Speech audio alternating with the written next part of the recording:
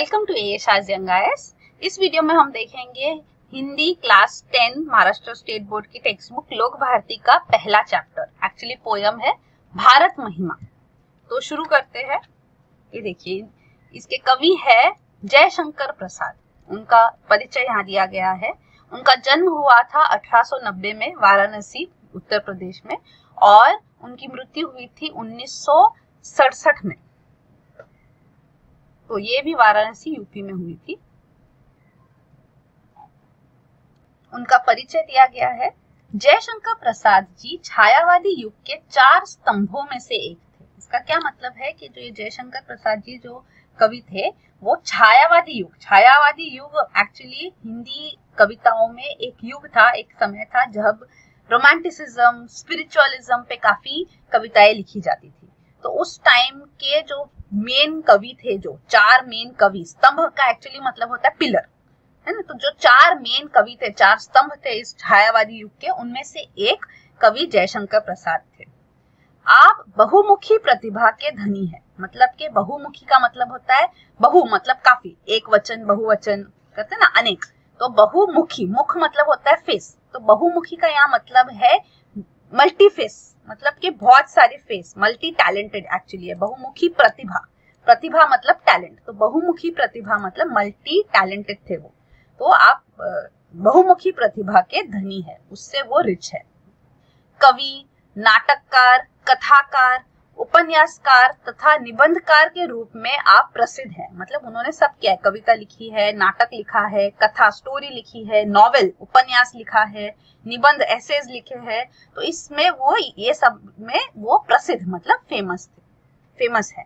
आपकी रचनाओं में सर्वत्र भारत के गौरवशाली अतीत, ऐतिहासिक विरासत के दर्शन होते हैं। मतलब उनकी जो रचना है उनकी जो कविताएँ, उनने जो प्रिपेयर किया है सब उनमें सर्वत्र भारत मतलब के पूरे भारत की गौरवशाली अतीत। मतलब जो जो हमारा जो हम अपने अतीत, हमारे पास में जो हम प्राउडली हमारा पास्ट बताते, जो हमारी हिस्ट्री बताते हैं ऐतिहासिक मतलब हिस्टोरिकल जो हमारा विरासत मिली है, हमको इनहेरिटेंस मिला है, जो हमको उसका दर्शन होता है, वो हमें दिखाई देता है इनकी रचनाओं में, इनके जो काम है, इनके लेखन में और कविताओं में। प्रमुख कृतियों के नाम लिखा है जो उन्होंने काव्य महाकाव्य नाटक वगैरह लिखे उनके नाम दिए गए हैं। फिर ये पद्य संबंधी है मतलब ये जो पोयम है उसके संबंध में ये इंट्रोडक्शन है तो ये इंपॉर्टेंट है। वो इंट्रोडक्शन टू कवि था अब ये introduction to the poem Bharat Mahima. तो ये है प्रस्तुत कविता में कवि ने अपने देश के गौरवशाली अतीत का सजीव वर्णन किया है। मतलब सजीव मतलब जीव जीवन वाला जीवंत मत, जीवंत मतलब कि लाइवली नो जो हमको एक्चुअली लाइवली दिख रहा है, ऐसा वर्णन मतलब के डिस्क्रिप्शन बयान किया है। तो इस कविता में उन्होंने हमारे देश का जो हमारा पास्ट है, जो हमारा, वो पास्ट है जिसमें हम प्राउड है हमारा। प्राउड से भरा हुआ हम, जिसके ऊपर गर्व करते, उस अतीत का डिस्क्रिप्शन उन्होंने किया है। कवि का कहना है कि हमें अपने देश पर गर्व करते हुए उसके प्रति अपना सर्वस्व निछावर करने के लिए हमेशा तत्पर रहना चाहिए। मतलब कवि के अनुसार इस कविता में कवि कहते हैं कि हमें अपने देश पर गर्व करते हुए मतलब हमें अपने देश पर गर्व होना चाहिए और उसके प्रति उसके प्रति मतलब उसकी तरफ़, उसके, उसकी ओर प्रति अपना सर्वस्व सर्वस्व मतलब सब कुछ सब कुछ निछावर करने के लिए हमें हमेशा तत्पर मतलब तैयार रेडी रहना चाहिए। ठीक है, अब हम देखेंगे कविता। ये देखिए, यहाँ पे हमारी कविता शुरू होती है। आपको बिल्कुल फ़िक्र करने की ज़रूरत नहीं है। आपके सारे सब्जेक्ट्स के सारे चैप्टर्स इजीली कवर हो जाएँगे और ये पूरा कोर्स सिक्स मंथ्स में कंप्लीट होगा। हमारे जो इस दो पैटर्न्स में कोर्सेज बनाए गए, एक है स्टिमुलस कोर्स और एक है बूस्टर कोर्स तो आपको अगर सिर्फ़ एक्सप्लेनेशन की ज़रूरत है तो हमारे स्टिमुलस कोर्स ज्वाइन कर सकते हैं। अगर आपको सिर्फ़ स्पेसिफिक सब्जेक्ट में हेल्प की ज़रूरत है तो हमारे स्पेसिफिक सब्जेक्ट ज्वाइन कर सकते हैं। सिर्फ़ आप साइंस कर सकते हैं, जिसमें साइंस वन साइंस टू दोनों कवर होगा। सेकेंड कोर्स है बूस्टर कोर्स जिसमें आपको कंप्लीट कवरेज मिलेगा, क्योंकि सिर्फ़ एक्सप्लेनेशन सुनना, सिर्फ़ डाउट क्लियरेंस करना, या टेक्स्ट बुक के क्वेश्चन आंसर आपको हम वीडियो पे बता दें, उससे आपकी तैयारी पूरी नहीं होती। आपको टेस्ट देना बहुत ज़रूरी है। हिमालय के आँगन में उसे किरणों का दे उपहार। उषा ने हंस अभिनंदन किया और पहनाया हीरक हार। उपहार मतलब भेंट, गिफ्ट। तो हिमालय के आँगन में मतलब कि क्या? हिमालय जो हमारे पर्वत है, हमारे नॉर्थ में, उत्तर दिशा में जो हमारे पर्वत है तो उस पर्वत के आँगन में पर्वत के अक्रॉस जो आँगन है मतलब जो ज़मीन है, वहाँ पे हमें किरणों का उपहार मिलता है, जब सूरज निकलता है माउंटेन्स के थ्रू उनकी उसकी किरणें पड़ती है तो वो एक किरणें जो है, हमारे लिए एक तोहफा, उपहार, भेंट की तरह आ रही है। तो हिमालय के आँगन में उसे किरणों का दे उपहार मतलब ये गिफ्ट हमें मिल रहा है, भारतवर्ष को मिल रहा है। उषा ने हस अभिनंदन किया। उषा मतलब के सवेरा सनराइज तो जब ये किरण आती है सनराइज होता है तो सनराइज मतलब हँसी हँसी, हंस के हमको अभिनंदन कर रही है मतलब हमें ग्रीटिंग्स दे रही है, शुभकामनाएँ दे रही है। और पहनाया हीरक हार, जो रोशनी हो जाती है, वो डायमंड्स की तरह, हीरो की तरह रोशनी है तो हीरो का हार जैसे हमें, हमारे देश को ऐसे पहनाया जा रहा है तो वो कहा जा रहा है। जगे हम, लगे जगाने विश्व मतलब सवेरा हुआ हम जगे अब ये जगह एक्चुअली सनराइज पे जग रहे, उसका भी मतलब है, और ये जगना वो भी है कि हम, हमारे यहाँ पे जो ज्ञान के, जो नॉलेज का जो हमें जागरण हुआ, हमें जो इंफॉर्मेशन हमारी नॉलेज एंशियंट पास्ट में जो हमारे पास जो लोग थे, जैसे हरप्पा सिविलाइजेशन वगैरह है तो वो टाइम पे लोग इतने एडवांस थे उस टाइम के हिसाब से सिटीज़ थी हमारे यहाँ पे बीसी 3000 बीसी में। Harappa and Mohenjodaro Indus valley civilisation जिसे कहते तो वो हम जगे हुए थे, हमारे पास इतना नॉलेज था, हमारे फ़ेमस एस्ट्रोनॉमर्स वगैरह है, जो हमारे पास्ट में जो इतने सारे फ़ेमस लोग हैं, उन्होंने इतनी सारी जो डिस्कवरीज की इन्वेंशन की even zero was invented in India तो मैथमेटिक्स में एस्ट्रोनॉमी में हम काफ़ी एडवांस थे। तो ये कहा जा रहा है कि हम जगे और लगे जगाने विश्व। तो हम जगे और हमारे बाद हमने विश्व को भी जगाया, हमने ये ज्ञान का प्रकाश सभी जगह फैलाया। लोक में फैला फिर आलोक। लोक मतलब के जो ये लोक है, धरती जो ये दुनिया है, दुनिया। लोक में फैला फिर आलोक। आलोक मतलब प्रकाश। लाइट तो हमने लाइट फैलाई। व्योमतम पुंज हुआ तब नष्ट। व्योम मतलब के स्काई आसमान। तो व्योम, आकाश, तम मतलब के अंधेरा। तो जो आकाश का अंधेरा था तो पूरा जो ग्रुप पूरा वो पुंज था, पूरा वो आकाश का जो अंधेरा था, वह तब नष्ट। तो जब हमने प्रकाश फैलाया, आलोक फैलाया, तब ये पूरा आकाश का अंधेरा जो पूरा है, वो नष्ट हुआ।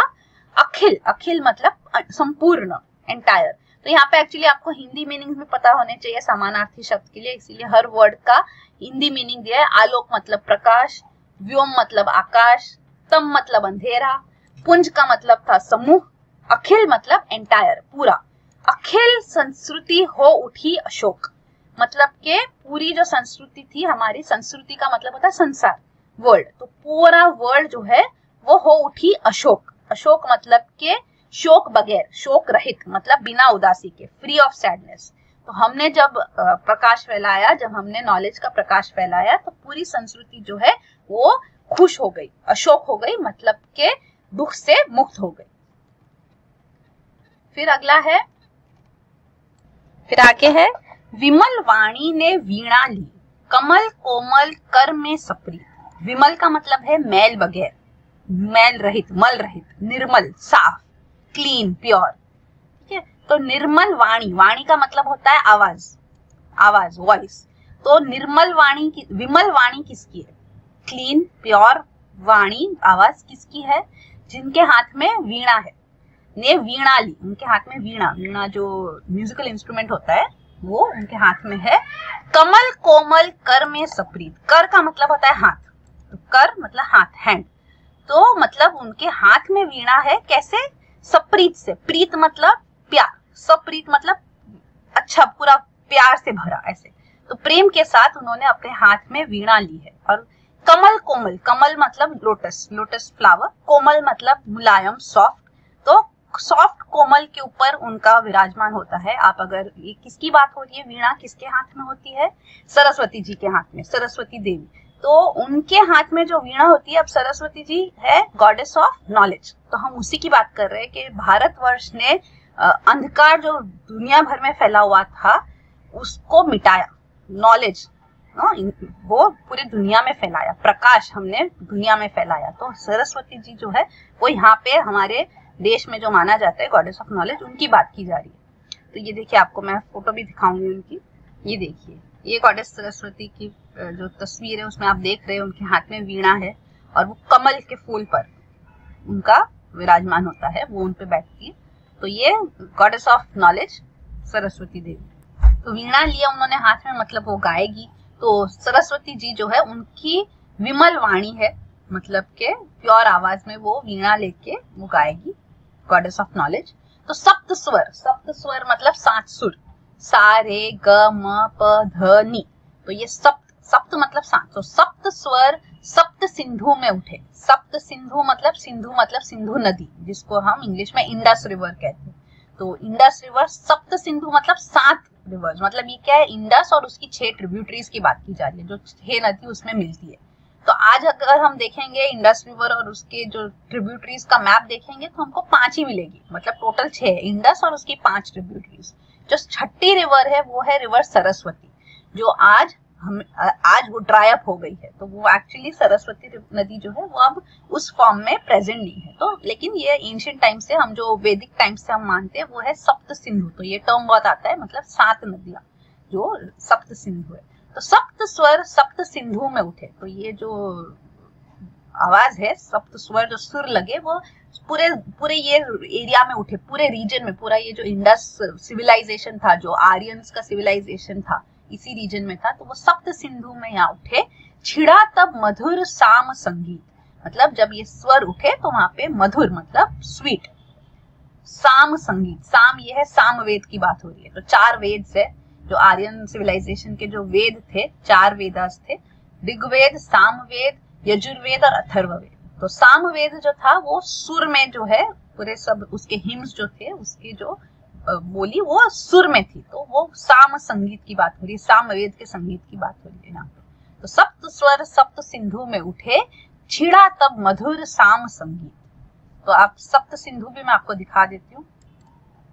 तो ये देखिए, ये सरस्वती रिवर का है।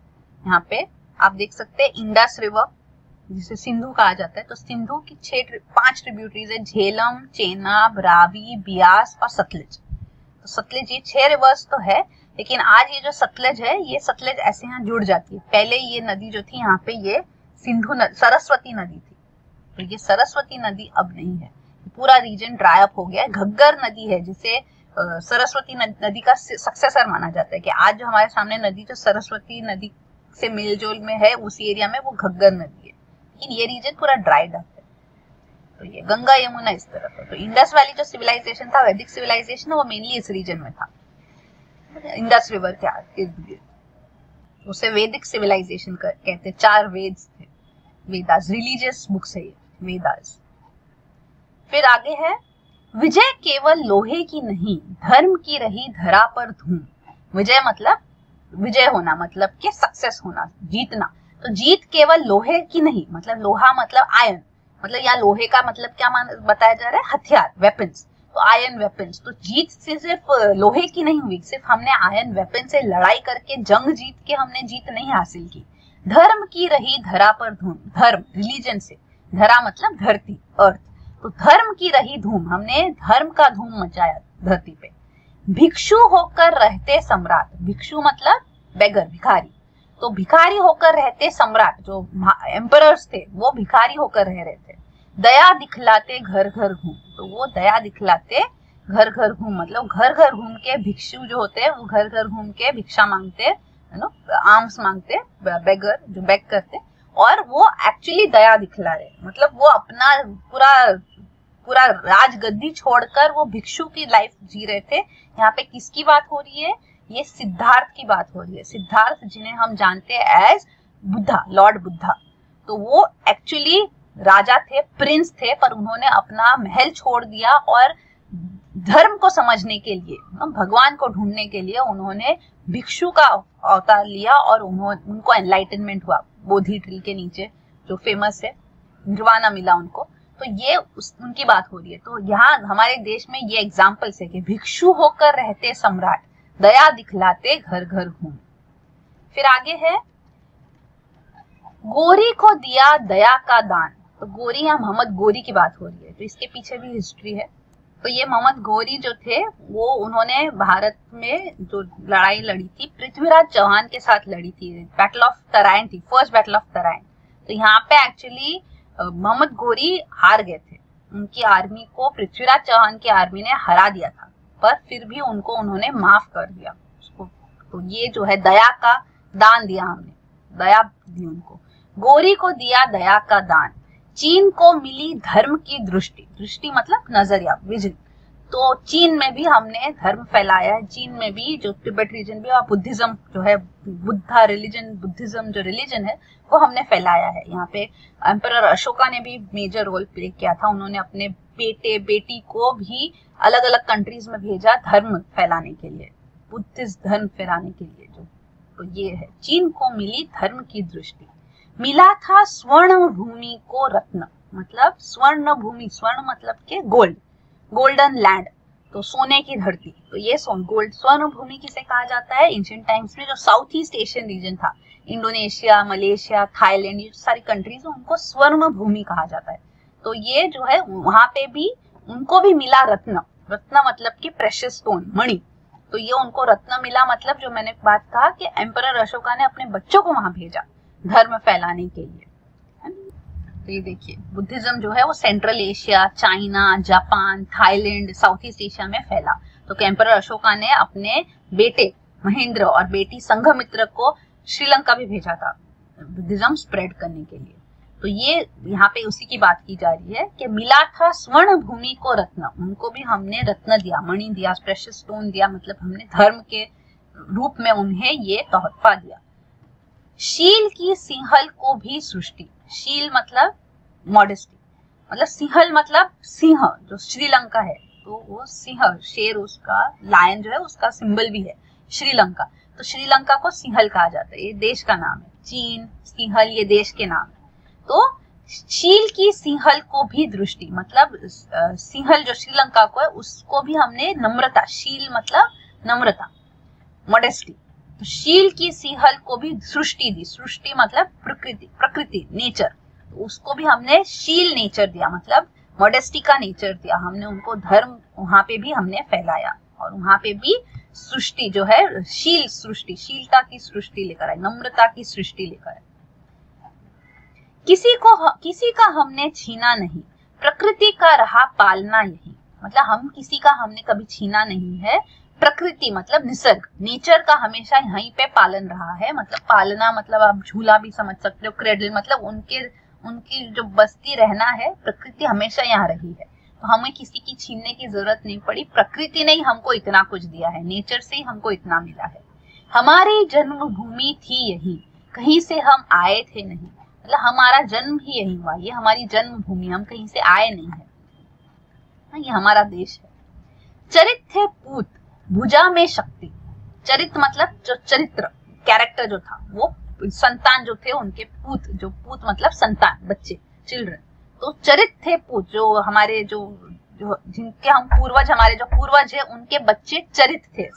भुजा भुजा मतलब आर्म्स बाह बाह में शक्ति थी, उनके आर्म्स में शक्ति थी। चरित्र जो था, वो पूरा नम्र, नम्रता नम्रता रही सदा संपन्न। तो उनका चरित्र अच्छा था बच्चों का हाँ, शक्तिशाली थे और सदा नम्र थे नम्रता मतलब मॉडेस्ट सदा संपन्न रहे कंप्लीट रहे उससे। तो ये किसकी बात हो रही है? आर्यन संतान की बात हो रही है। तो आर्य संतान जो है हमारे भी पूर्वज जो थे वो आर्य संतान थे। तो वो जो बच्चे थे चरित थे पूत। तो उनके बच्चे चरित मतलब चरित्र उनका अच्छा था। भुजा में आर्म्स में शक्ति थी शक्तिशाली भी थे और हमेशा नर्म रहे नम्रता में रहे। हाँ मॉडेस्ट रहे। हृदय के गौरव में था गर्व मतलब दिल हृदय मतलब दिल दिल के गौरव मतलब के जो हम आप, हमारा गौरव जो है हमारा जो वेलर है हमारी जो प्राइड है वो हमें उस पर गर्व है उस पर हम प्राउड करते हैं। किसी को देख न सके विपन मतलब हम किसी को विपन मतलब के गरीब निर्धन पुअर तो हम किसी को विपन नहीं देख सके। तो ये हमारा जो है हमारे पूर्वज ऐसे थे उनका चरित्र कैसा था शक्तिशाली होते हुए भी वो नम्रता में रहते थे और गर्व था। हमें उनके हृदय में गर्व था। हमारे संचय में था दान। संचय मतलब के कलेक्शन संग्रह।